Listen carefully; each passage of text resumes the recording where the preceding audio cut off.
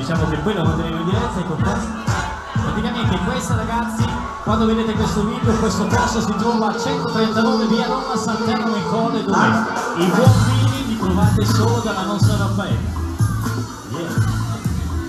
puoi andare, puoi andare. ciao